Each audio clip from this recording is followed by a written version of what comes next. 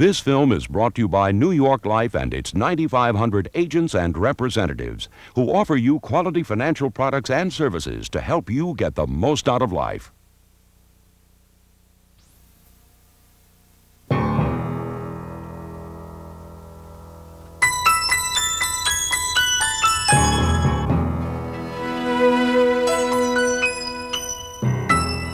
The Pittsburgh Steelers all share a sense of disappointment over the results of their 1986 season. We felt that uh, we could come in and, and, and really take charge and, uh, you know, number one on the list, win a division, and we felt that we could do that.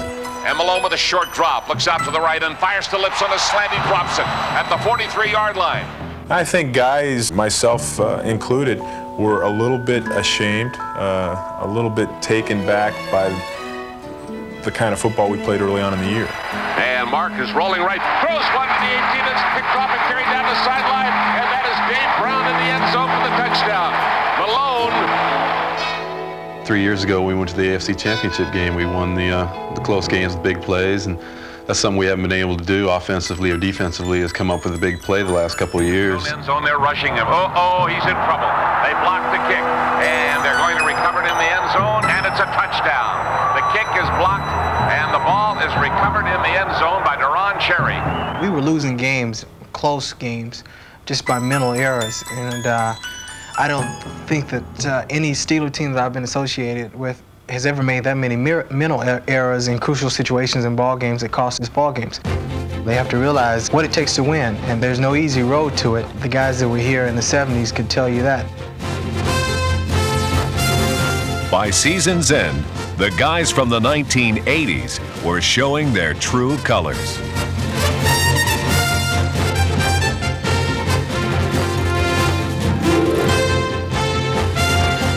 Early season injuries healed, and new talent arrived to help fuel a spirited second half surge.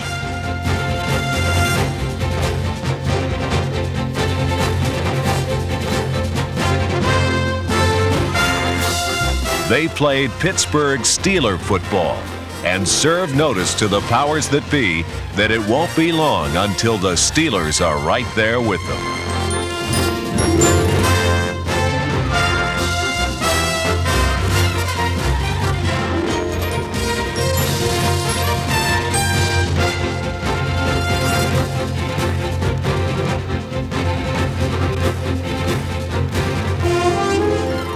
Than one pro football writer called the 1986 season Chuck Noll's finest head coaching job.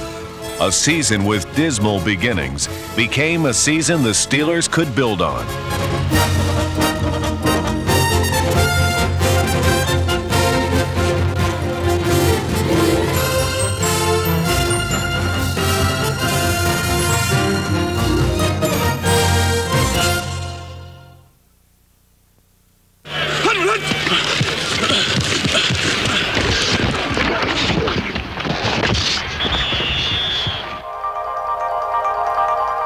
For the Pittsburgh Steelers, the 1986 season had painful beginnings.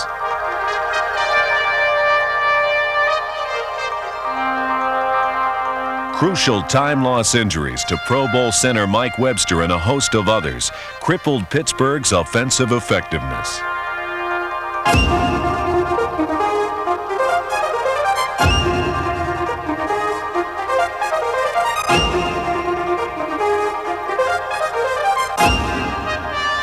Even the fabled Three Rivers Jinx lost its magic as the Cleveland Browns came to town and won for the first time since the stadium opened back in 1970.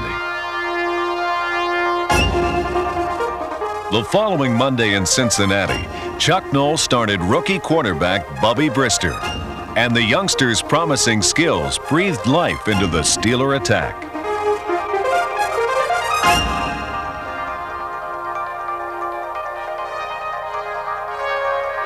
In the end, however, the Steelers fell victim to their own mental lapses. Right here's the snap. Now they're faking the punt and running with it. And here comes Hayes up over the 40, the 45, the 50, down the sideline, cuts back. He's to the Pittsburgh 35, the 30, the 20, the 10, and he's going all the way for a touchdown.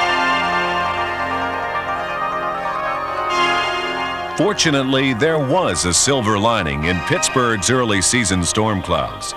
A well traveled young running back named Ernest Jackson. Ernie's an interesting guy. You know, here's a guy that's, that's bounced around and gained 1,000 yards wherever he's been. Uh, for, for some reason, he ends up in, in Pittsburgh. Uh, I'm, I'm thankful for that.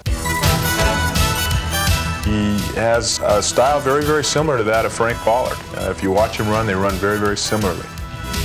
It's a style that utilized the crushing blocks of top draft choice John Rienstra. A straight ahead blue collar style that earned Jackson instant respect among Steeler fans. An effective style that produced 910 rushing yards in just 13 games and earned Jackson a trip to the Pro Bowl. Ray Pinney, Craig Wolfley, Mike Webster, Terry Long, and Tunch Ilkin share the credit, for this is still one of pro football's best offensive lines, allowing the second fewest quarterback sacks in the league. Only one all season by right tackle Tunch Ilkin.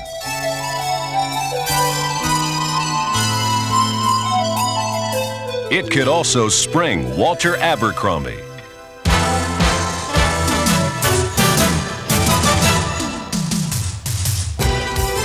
Abercrombie put together his best season in the pros. The fifth year running back rushed for a career high 877 yards. In a year of injuries, he led the Steelers in pass receptions. And in overtime in Houston, his touchdown gave the Steelers their first win of the season. And Malone is under center. And Malone to Abercrombie driving off the right side into the end zone. Touchdown. The Steelers win the football game. Driving off right tackle. Abercrombie takes it into the end zone. And in overtime, they win the football game. And as he's tying it off that right side, it was Ernest Jackson, the new Steeler, who gave him the block. You betcha. Unfortunately for the Steelers, their Week 4 win in the Astrodome was their only win through the season's first seven weeks.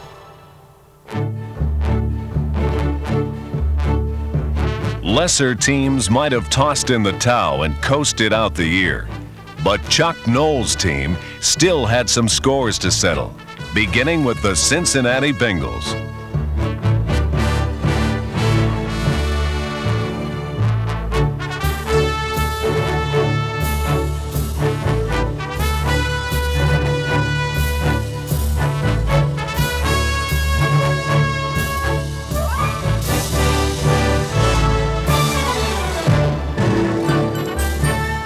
On the final weekend of October, just one week after their loss to the Patriots, one of their worst ever in Three Rivers Stadium, Pittsburgh's two back attack crushed the Cincinnati Bengals and salvaged the 1986 season. And along the way, they discovered the Steeler faithful were still behind them.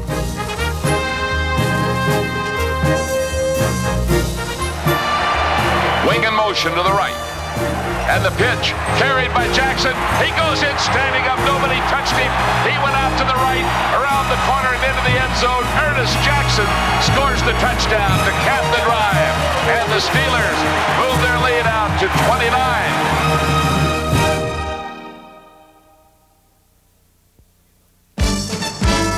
In 1986, Gary Anderson became the NFL's all-time leader in field goal accuracy, making each of his kicks a collector's item.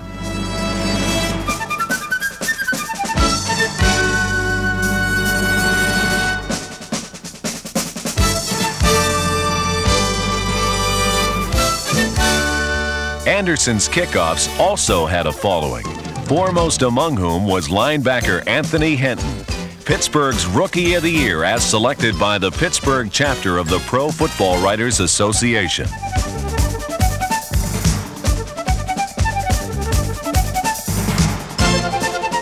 On the return side, free agent Lupe Sanchez became only the second Steeler in history to lead the conference in kickoff returns.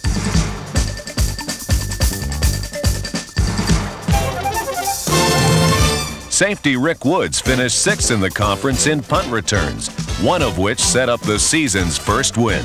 And he sends a wobbly kick up the woods. Grab it, Rick, at the 45, over the 50 to the Houston 45, down to the 40 to the 35, still running. He needs a block. Here he goes to the 20, and the kicker pushes him out of bounds at the 15. Free agent Chris Sheffield started six games in place of the injured Dwayne Woodruff. Lupe Sanchez, Harvey Clayton, and John Swain handled the rest of the cornerbacking chores.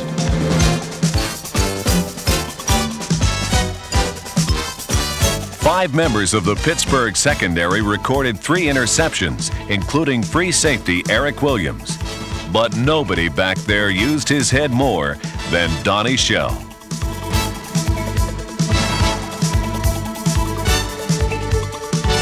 On December 7th, the four-time Super Bowl vet made NFL history. Ferguson right down the middle, and it is tipped and then intercepted. Here we come. Donnie Shell with the ball.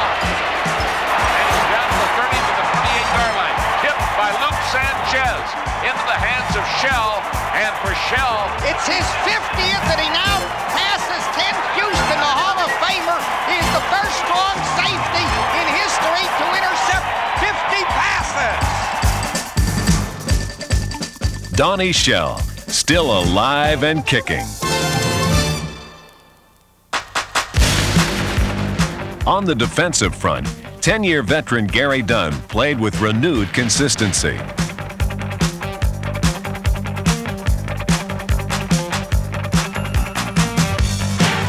The rest of Pittsburgh's defensive linemen were younger men at different stages of their development. Fifth year pro Edmund Nelson was a rock at several different defensive line positions. Two former first round draft picks contributed to a successful pass rush number 92, Keith Gary, and number 99, Darryl Sims. Last year's second round pick, Gerald Williams, also made an impression.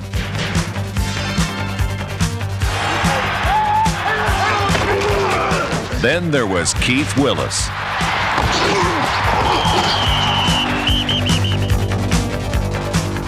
Number 93 was Pittsburgh's best pass rusher.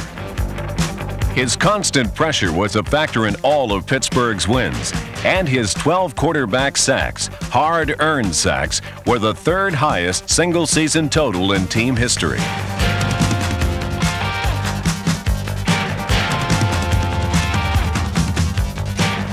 Keith Willis may soon become the first Steeler defensive lineman since Joe Greene to play in the Pro Bowl. But for the 17th straight season, a Steeler linebacker did make All Pro. That man was Mike Merriweather. Merriweather can do it all on the outside. Stuff the run.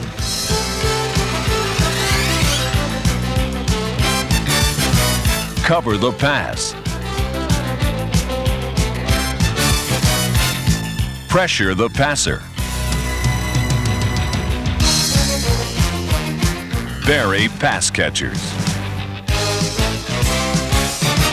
Inside linebackers Robin Cole and David Little stood tall against the run.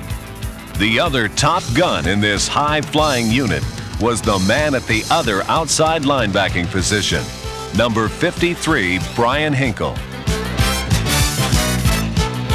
Hinkle led the team in tackles and was voted Pittsburgh's most valuable player by his teammates.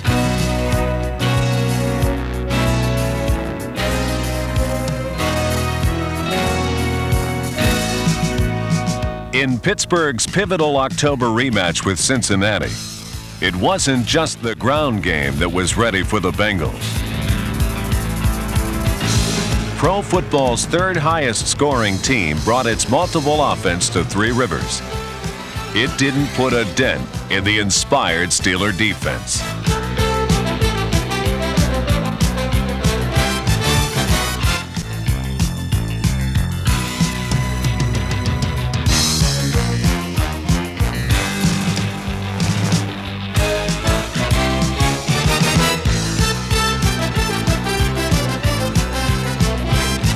The Cincinnati Bengals failed to score a touchdown.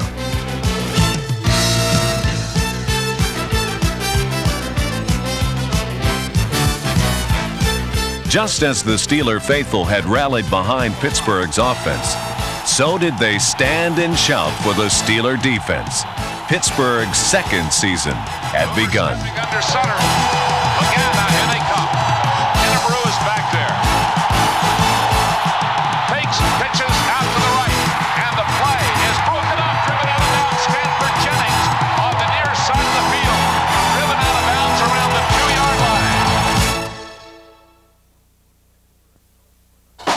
Pittsburgh's hopes for 1987 hinge on the continued improvement of quarterback Mark Malone. Malone is well aware of the challenge facing him, for by his own admission, his performance was not up to par in the early weeks of 1986. It's a combination of a couple things. First of all, early on in the season, I didn't play well, and I think that uh, there were a couple reasons for that. Uh, I think because of the injuries, I tried to overcompensate and do some things that maybe I wasn't capable or comfortable doing. Malone will do anything to help his team win. And at 6'4, 220, he's one of the team's most gifted athletes. In Malone's defense, the hard knocks sustained by Louis Lipps denied Malone full use of his most dangerous offensive weapon. But like the rest of the Steelers, Mark Malone sidestepped disaster with a big performance in the crucial rematch against Cincinnati.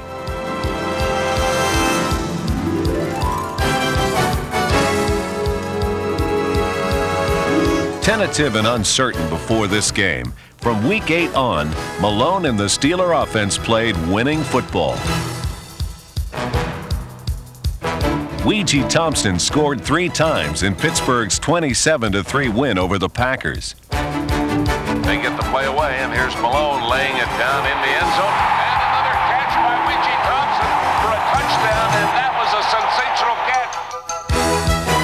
Rich Erenberg was a reliable receiver out of the backfield, scoring a touchdown in Pittsburgh's second win over Houston.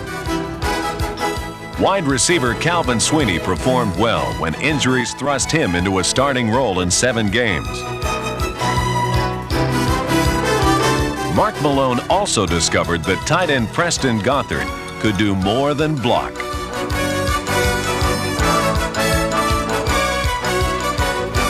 The venerable John Stallworth lost nearly half the season to injury, and his sure hands and precise patterns were sorely missed. But by season's end, number 82 was back in form, climbing to 18th on the all time pass catching chart, just four receptions shy of 500. Finally, there's Pittsburgh's Golden Boy, wide receiver Louis Lipps, the impact player of the Steelers' ball control attack. I think with our style of football offensively, where we want to run the football, control the football, and then throw the football off the play action and so forth, in the past we've been able to do that and create big plays out of that situation. And Louis is the kind of person that we need to have in there to have the big play happen. Lipps put the fight back in Pittsburgh's offense. When he catches the football, he's capable of breaking tackles and turning Uh, average pass receptions into big touchdowns for you.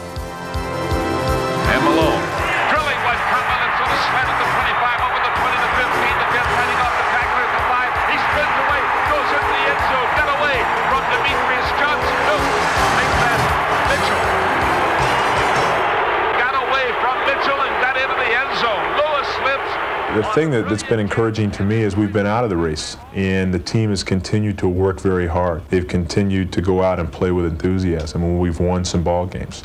Uh, and I think that shows a little bit of character.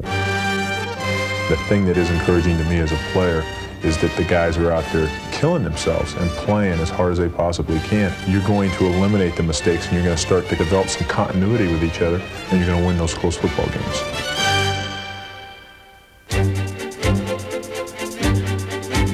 During the final weeks of the 1986 season, Pittsburgh played a trio of playoff bound teams on the road.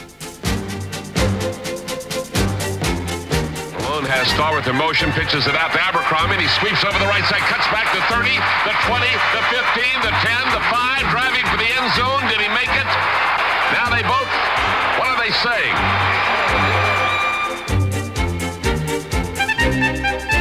In Cleveland, Gary Anderson's last second 40 yard field goal tied the score, but the Steelers lost in overtime. At the field goal, at the goal to the right. And the snap, Newsome has the ball, rolls out, throws a pass downfield to Gothard, and he takes it for an apparent touchdown. Preston Gothard cut it in the end zone. In Chicago, the Steelers took the defending world champions into overtime before losing a 13 10 heartbreaker. The New York Jets had the misfortune of being next.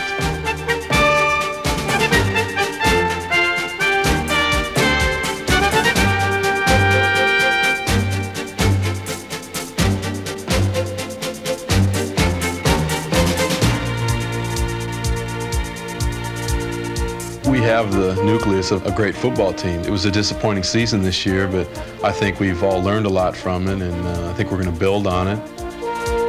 O'Brien lays it down, and it is picked off. This is Sanchez down over the 50. Sanchez to the 45, takes off. Sanchez racing. O'Brien goes after him, can't get him.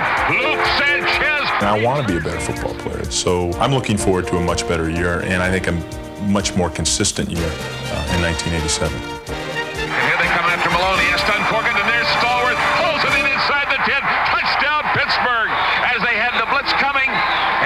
reacting beautifully, Malone laid it right down the middle to Stallworth. It's a 40-yard touchdown pass. I think the true Steeler fan realizes or realized that this was a rebuilding year for us, and uh, I think we realize now what it takes to win football games, and we're going to be a good football team next year. The 1986 Pittsburgh Steelers came on strong, and their tale of two seasons was filled with promise.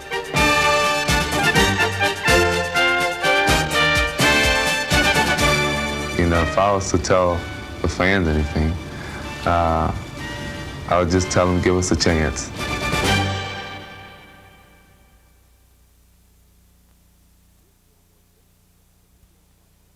This film was brought to you by New York Life and its 9,500 agents and representatives who offer you quality financial products and services to help you get the most out of life.